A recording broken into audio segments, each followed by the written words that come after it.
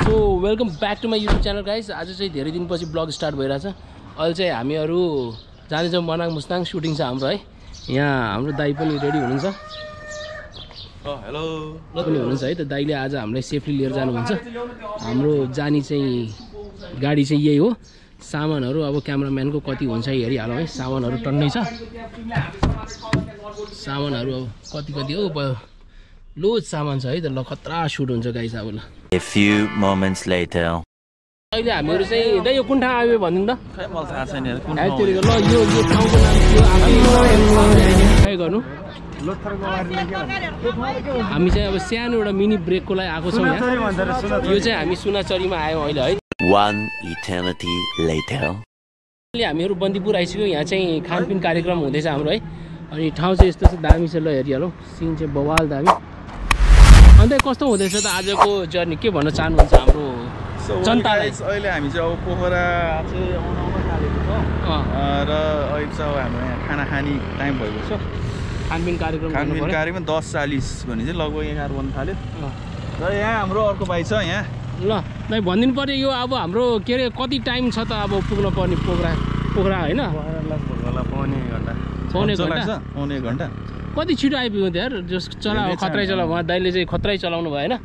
अब हामीहरू पोखरा पुगेर अनि त्यसपछि क- कताबाट लागिन्छ? अनि पोखरा पछि चाहिँ त्यसपछि चाहिँ अनि हामी चाहिँ मासतिर यसो लाग्छौँ। हाम्रो कति दिनको जर्नी हो यो? लगभग यो पाँच दिन चार दिन पाँच दिन होला। ल गाइज हामीहरू चार पाँच दिनमा चाहिँ खत्रै खत्रै ब्लग आउँछ है त।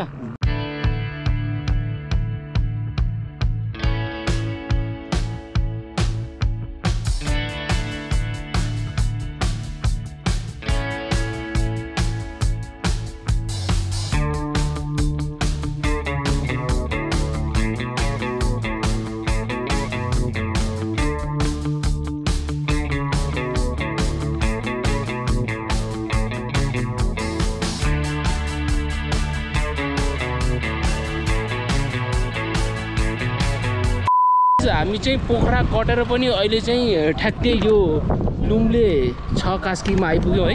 यहाँ चाहिँ अब टी ब्रेक हुन्छ। खानपिन कार्यक्रम भएछ क्लाइमेट चाहिँ अलिक चिसो चिसो रहेछ। पोखरामा चाहिँ लास्टै गर्मीकै पोखरा है।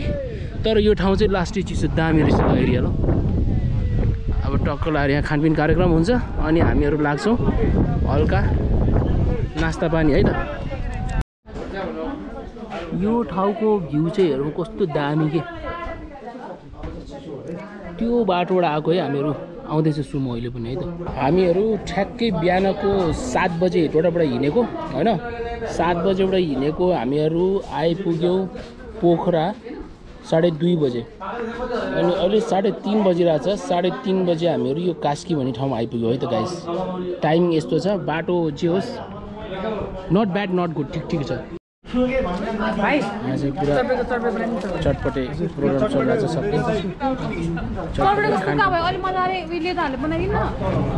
ले त छैन त्यस्तो के अरे ले त म केमिकल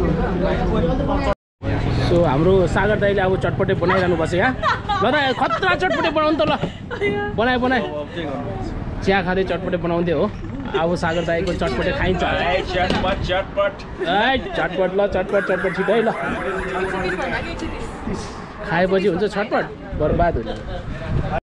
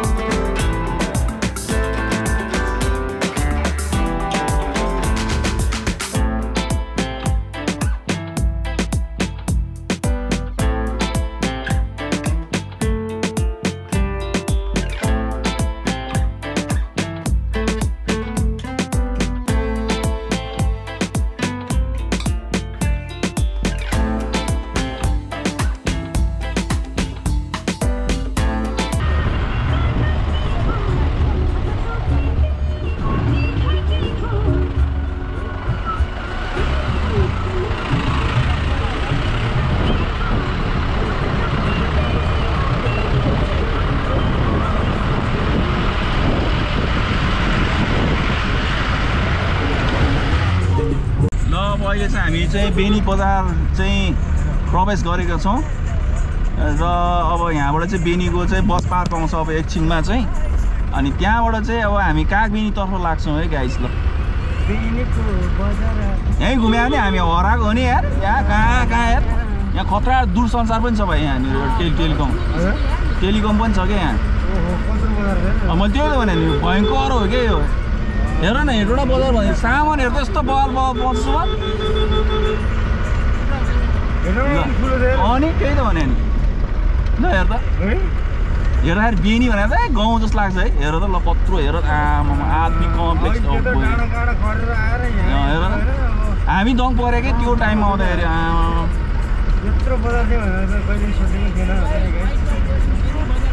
ल ल ल गाइज ल ल हामी बेनी बजार आइपुगेको छौँ गाइज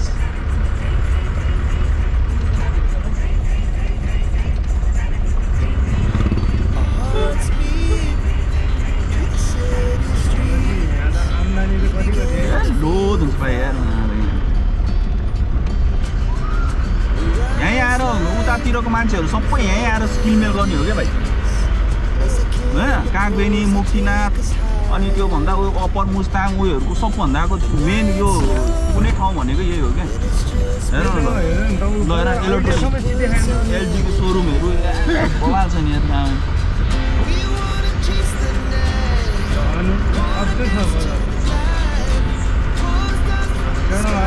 अब सिधा सक्नु सक्दै सक्दैन अन्त हामी चाहिँ एउटा एउटा रोड मात्रै छिरिरहेको छ अर्को रोड छिरेकै छैन। यहाँ भित्रभित्र यता उता उयो हेर्न ल ऊ। ठ्याक्क अब पेट्रोल पम्प आउँछ क्या पेट्रोल पम्प आइसकेपछि पेट्रोल पम्पबाट चाहिँ जाने। तल जाने जस्तो लाग्छ मलाई। माथि। तल। रहेको छु ल बेनी अस्पताल गाइस ल त्यहाँनिर बेनी अस्पताल हो। होइन? बेनी बजार भन्नु भएकोमा हार्दिक धन्यवाद ल ल। बसाएर आयो। हो यही हो कि भाइ? अनि यहाँ कहाँ? ल अब यहाँबाट चाहिँ अब हामी चाहिँ कागबेनी तर्फतिर लाग्छौँ है?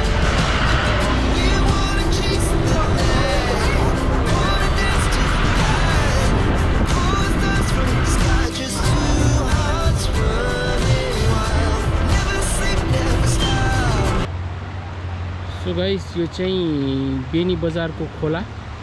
है हामीहरू अहिले ठ्याक्कै फाइभ ट्वेन्टीमा यहाँ आइसक्यौँ। अब यहाँबाट अझै माथि जान्छु अनि यो चाहिँ लास्ट पेट्रोल पम्प यहाँ चाहिँ रिफिलिङ हुँदैछ।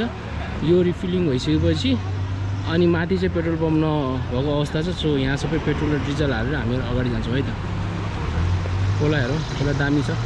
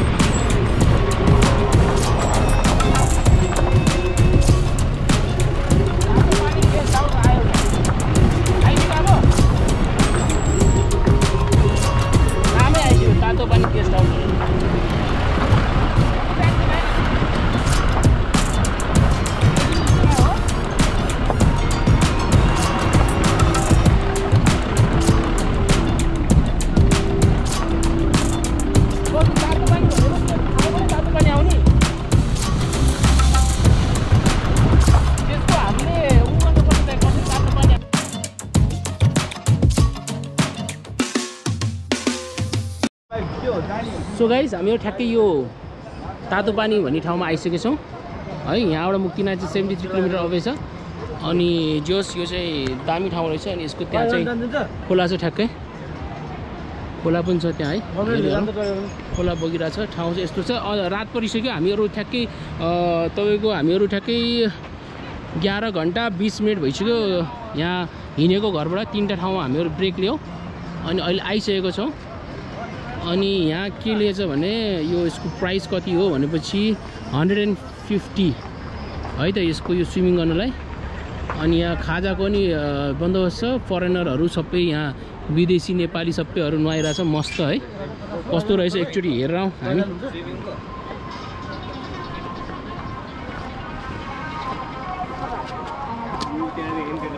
यहाँबाट तातो पानी आउँछ यो चाहिँ एकदम दामी राम्रो हो हेल्थको लागि यहाँ भाइ बुढाहरू पुरा स्विमिङ हानिरहेको रहेछ। खेलिरहेको छ ल। यो ठाउँ चाहिँ यस्तो चाहिँ यति टाढा आएपछि भिडियो नबनाउनु यो त वेस्टै हो है। ल पुरै वासरुम पनि यहाँ रहेछ है स्विमिङ पुल जस्तै। दामी ठाउँ छ ल। ल हामी तातो पानी भन्ने ठाउँमा आइपुग्यो हामीहरू। यही हो है। त्यहाँ चाहिँ होटल हट स्प्रिङ इन छ है त। सो गाइज यो ठाउँको चाहिँ के दामी लाग्यो भने पुरा पाहाडबाट घेरेको रहेछ क्या पाहाडे पाहाडबाट घेरेको ठाउँ रहेछ। अनि यहाँ चाहिँ नेचुरल स्प्रिङ होइन। नेचुरल तातो पानी आउँदो रहेछ यो ठाउँमा चाहिँ। ठ्याक्कै होटल रहेछ माथि। अनि यसमा चाहिँ नुहाउँदाखेरि जस धेरै रोगहरू निको हुन्छ भन्छ खै। थाहा चाहिँ भएन है। तर ठाउँ चाहिँ दामी छ। यो त लोड महँगो छ होला नि त।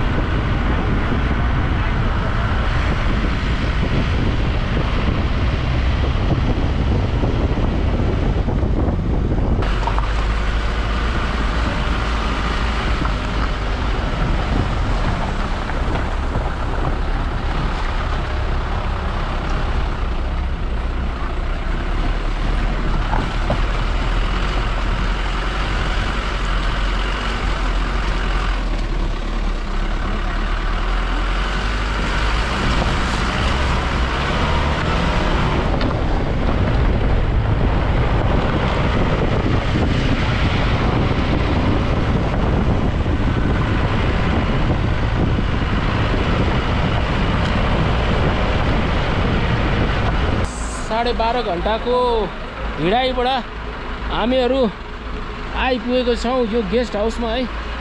अब गेस्ट हाउसको नाम के थाहा भएन लो टायर्ड छ है। हेर्दैछौँ के छ पुरा हाम्रो यहाँ गाडीहरू सामानहरू टनाटन। सब यहाँ अब रुम कस्तो छ हेर्नुपर्छ। रात धेरै परिसक्यो है। अब जस्तो रुम पाइन्छ त्यस्तैमा बस्न पाउँछ। अब हामीले छान्न वान्न गर्नु भएन यहाँ। लो टायर्ड भइसक्यो छिटो छिटो रुम लिएर नुहाइधुवाइ गरेर बियर सियर हालेर सुतिहाल्नुपर्छ भोलिको लागि होइन दाइ? के छ विचार। खोइ दाइ हाँसिरहनु भएको छ मुसु मुसु। बुढा केही भन्दैन। यो चाहिँ गे गेस्ट हाउसको नाम इ इको गेस्ट हाउस रहेछ है त गाइस इको गेस्ट हाउस। पुरा हाम्रो रुम रुम भन हुँदैछ कुन रुममा बस्ने हो उयो रुम बस्छ यार यो हो? ल ल जाउँ। कुन चाहिँ? ल ल बसौँ बसौँ। डे टू है हाम्रो डे टू है यहाँको घरहरू हेरौँ खतरा खतरा छ। अनि यहाँ पुरा हिउँ छ। अब हाम्रो जर्नी हो जम्सन।